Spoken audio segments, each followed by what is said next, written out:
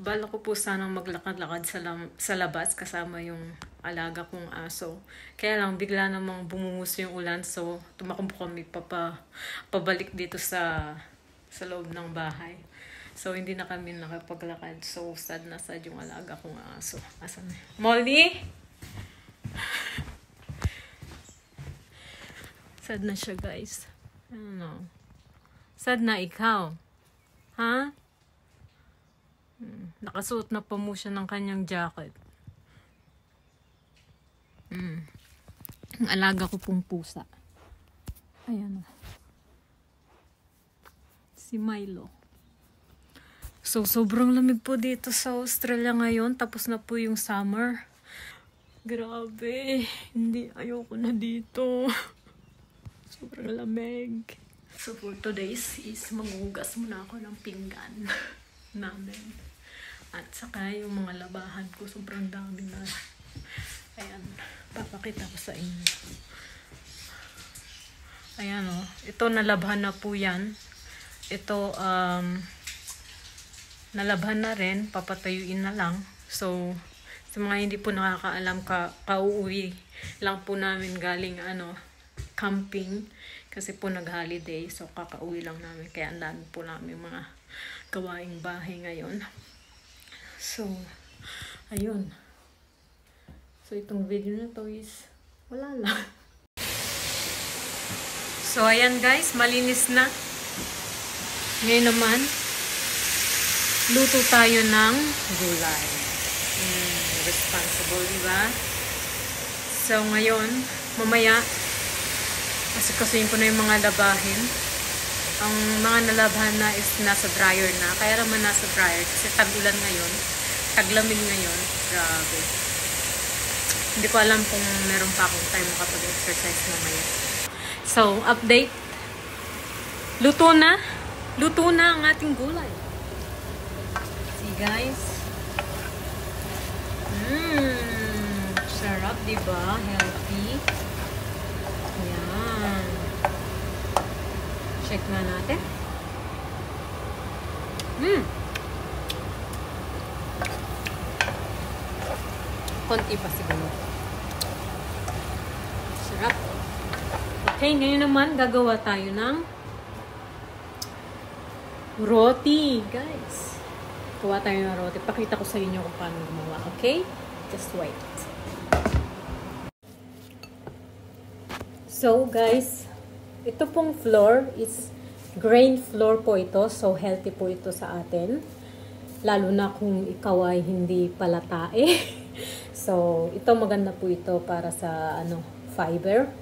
Fiber. English te. So, lalagyan lang natin ito ng tubig. Ganyan lang. Tapos, hahaluin. Hahaluin ko lang po ito. Papakita ko sa inyo. Gagawin lang natin itong dough. So, halu-haluin lang po natin. Ganyan. Yan. Hanggang sa mamuo po siya at uh, maging ano na po talaga siya, parang dough. So guys, ayun na po siya, namuo na po siya. So gagawin natin siya, ay lalagyan pa po natin siya ng konting tubig. Hanggang sa lumambot po siya kasi kasi po pag niluto to ng ganito medyo matigas, So, pag niluto siya, matigas din po ang ano, ang pagkakaluto, ang bread, ang roti. So, so ayaw natin yun, no? So, lagyan natin ng tubig, ng kaunti. So, lalamut-lamutakin lang natin siya hanggang sa lumambot siya.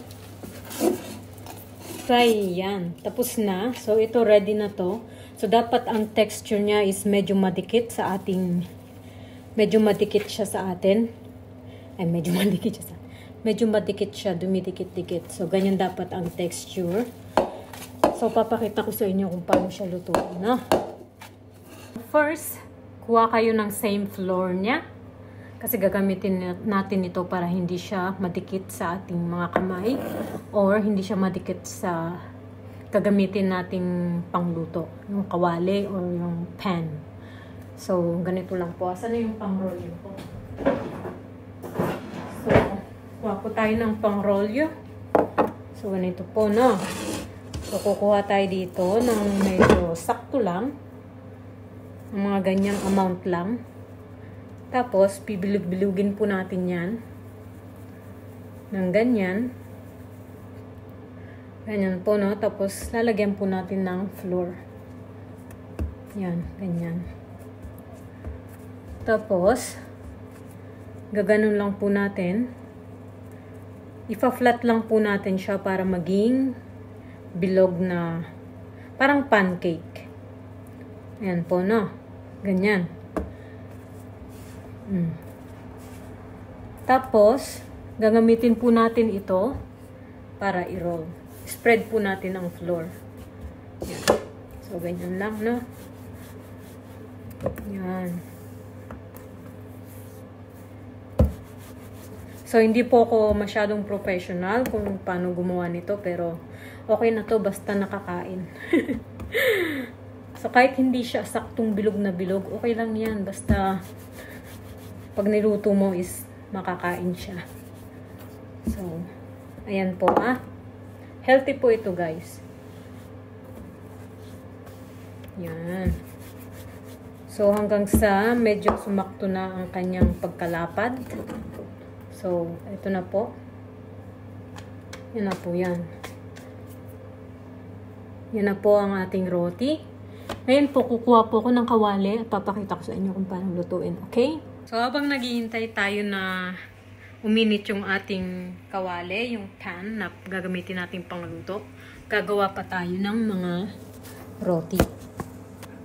So, easy lang to guys. Hindi naman siya sa una talagang mahirap, pero pag nasanaya mo na, madali na lang siya. So, ganyan lang. Gagawin mo lang siyang pancake. Yan. Yan. Parang pancake lang talaga siya.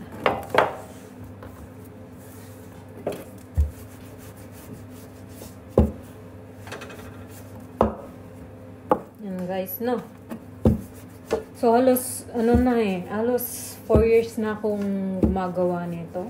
Na, na-train na ako. Kahit pa paano nakuha ko naman kung paano gumawa nito.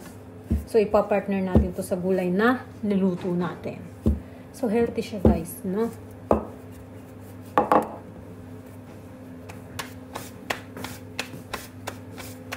So, pagkatapos nyo siyang i-gawing malapad, tatanggalin nyo yung floor na nandoon pa sa ating ano, sa, kasi, para hindi po siya maluto. Pag naluto po yun, medyo sunog, para hindi po masunog ang ating roti. So, ganito po ipapakita sa ipapakita, ipapakita ko po sa inyo kung paano po siya lutuin. So, mainit na po ang ating pan. Tapos, ito pong pinagpag nating roti. Ilalagay lang po natin siya dito. Ganyan lang po siya. Wala pong oil. Ganyan lang po siya, no? Ang iba naglalagay po ng oil ng tinatawag nilang G. So, pero ako ayoko po maglagay ng oil talaga. So, ganyan lang po. Ganyan lang siya. Hintayin nyo siyang uh, mag-brown or lumobo. Minsan kasi lumulobo siya. Tapos baliktarin nyo po siya.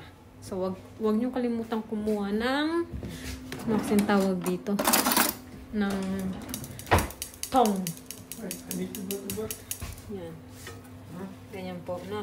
So, ayan, nakita nyo, nag-brown-brown na po siya. Kaunti. So, babaliktarin lang po natin yan. Yan. Ganyan lang po. So, ang ang gamit kong apoy is medium medium lang po siya ang apoy para hindi po masyadong masunog. So, yan guys, oh. So, i-check po natin siya palagi para po hindi siya masunog. No, ayan po, lumulobo siya. Nakita niyo? Ayan. Ibig sabihin, pag lumubo po ang inyong ginawang roti, ibig sabihin, ano po siya, maganda ang pagkakagawa. Perfect siya. Ayan, lumubo siya, di ba? Dapat ganyan po ang pagkakagawa. So, balik na rin po natin. Ganyan lang, balik-balik na rin lang po natin yan hanggang sa mag-totally brown na po siya. Yung talagang alam yung luto na siya. Nasa sa inyo naman po kung ga- gaano nyo kagusto yung pagluto nyo ng roti. So, ganyan lang po. Di naman po siya mahirap. Sa una lang talaga, nung naalala ko, nung nag-umpisa pa lang ako magluto nito, talagang ang daming nasunog na roti kasi takes time at ano talaga. Ayan o, di ba? Ang ganda. Oh, tikman natin yan mamaya. So, titikman po natin ang ating nilutong roti at gulay. Ayan. Yan, medyo mainit-init pa. Ang ganda ng pagkakagawa. So, ayan po yung niluto nating gulay. Ayan. Healthy po yan. Yan. Healthy po yan. Saka yung mga herbs na ginamit po talaga po, kung may problema po kayo sa pagtatay, hindi po kayo nakakatay araw-araw, ito po ang inyong kainin. Herbs. May herbs po siya. So, kung may question po kayo kung ano yung herbs na ginamit ko, comment down below lang po kayo at sasabihin ko kung ano yun. Ang sekreto para ikaw ay matae.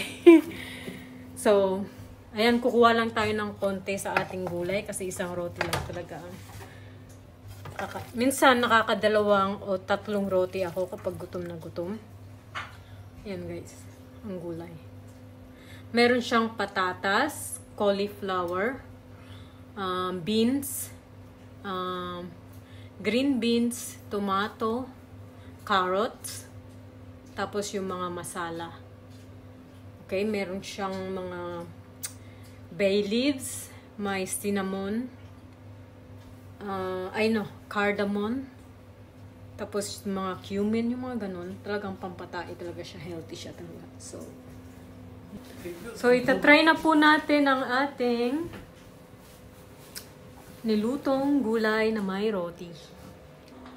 Habang nagluluto po ako, hindi ko pa po siya tinitikman. Hindi, hindi talaga ako tumitikim kapag nagluluto. So, yan. Tikman natin siya. Ayan, no? Guys. Ayan. Di ba ganyan lang po ang pagkain nito? Mmm. Mmm. Sarap! Sarap, guys. Para akong kumain sa restaurant. Sarap, guys. Mm. Ang guys. Ganyan lang pagkain yan, guys, no? At saka may capsicum pala to, guys. Meron siyang bell pepper. Okay? Ayan, guys.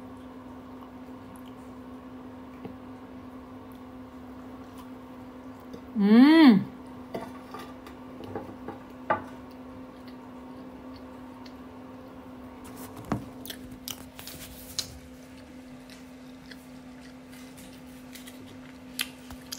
So,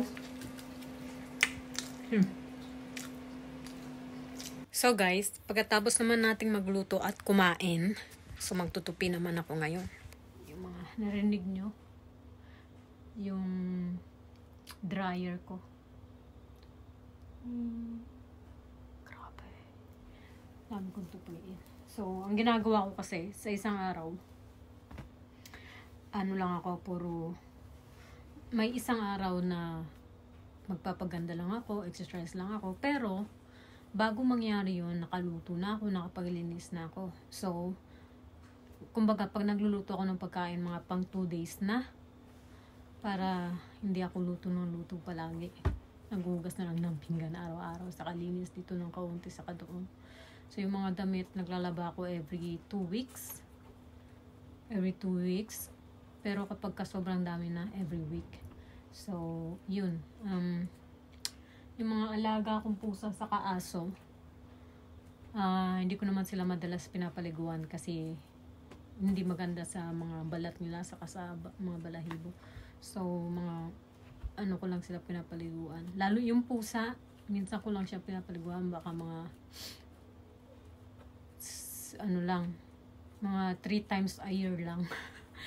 Ang aso kasi medyo maamoy ang aso talaga. Kahit anong gawin mong linis paligo medyo maamoy talaga sila. So ang paligo ko sa aso is um ano ba yan? Papaliwanag na ako dito. So yun lang po yung pinapaliwanag ko po para alam nyo kung ano yung routine ko po no So, hindi lang puro pagpapaganda at pagpapasexy para lang po alam niyo. So, ang aso pinapaliguan ko mga every, siguro, every two months once. Yun lang po. Pero pag sobrang baho na, tapos, minsan pag naglalakad kami sa labas, namamasyal kami sa labas, nadulumihan siya, napuputikan, o alam niyo naman. Ayun, pinapaliguan ko po siya. Kaagad. So, yun po. Ayan. So, hindi po ako araw-araw nagluluto ng pagkain. So, may schedule po yan. For example, Monday, magluluto ako. So, Tuesday, hindi po ako magluluto. Kasi may meron pang pagkain kahit ano, pagkain lamig, kailangan talagang ubusin yan. So, um, so, meron po ako talagang time na mag-exercise. Kumbaga, sa isang araw, puro linis lang ako, luto, laba. Yun lang po. Pero, may isang araw na puro paganda lang, puro pa sexy. So, depende po yan sa inyo kung paano nyo po gagawin yung schedule ninyo. Lalo na kung kayo ay may mga anak. Ay, grabe. Ako nga na wala pang anak, mga pets lang. Sobra-sobra na yung pagod ko. So, paano pa kaya yung mga mamshi na ano, may mga junakis, tapos nagpapasexy pa sila. Ay, grabe, sobrang pagod siguro nila, pero worth it naman for sure. So, yun lang, ganyan lang po ang buhay ko dito. So, sa mga hindi po nakakaalam, nandito po ako sa Australia, no? Kikwento ko na lang po uh, next time kung may magtanong, kung may interesado kung paano ako nakarating dito, anong nangyari, ganito, anong buhay, ano ang status ng buhay ko dito. So, tago natin yan. reveal, baka na-reveal panty niyo ako. so, yun lang po. So, so dito ko na po tatapusin ang aking video. Maraming maraming salamat po sa panonood ninyo. Huwag niyo pong kalimutang mag like, at panoorin ang aking video. So, maraming maraming salamat po and I'll see you next time. Bye-bye! Bye! -bye. Bye.